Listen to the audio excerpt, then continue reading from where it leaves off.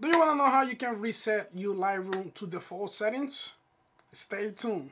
Let's say you messed up your Lightroom and then you moved some stuff or you lost something and you want to reset it to the default settings so you can find all your settings one more time and you can find all your adjustments. Well, let's do this.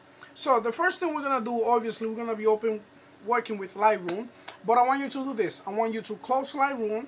If you're in a Mac computer, I want you to quit Lightroom, which is Command Q fully closed. And what we're gonna do is gonna find the icon. Icon.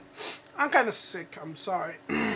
you're gonna hold Option, Command, and Shift, and then you're gonna click Open Lightroom. You're gonna get this pop up. Once you get this, you could either reset to preference or start normally.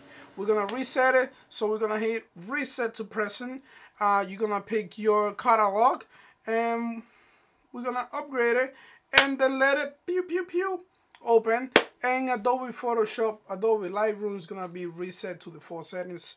I just gotta clear it up because I have a whole bunch of stuff and my hard drive is not there. So anyways, if you like this video, please leave a comment, leave a like. If you want me to teach you any tutorial specific, leave it on the comment. I will get to it very soon and I will see you tomorrow. Stay safe. Stay safe.